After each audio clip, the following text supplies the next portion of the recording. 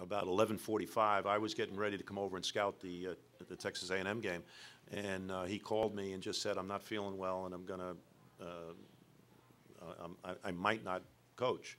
Uh, and then um, Dr. Anderson called us back when we were driving here, and said he he's not going to coach today. We're going to, you know, we, we're just going to keep looking at him, and, and he just feels under the weather. We were obviously surprised about it, and um, you know, not thrilled that he wasn't with us. Uh, I mean, he's our leader, our general, and um, we were just anxious to understand, hope, know that he was okay, and um, going to be okay, and be able to come back late in the tournament, which he is going to be with us Saturday.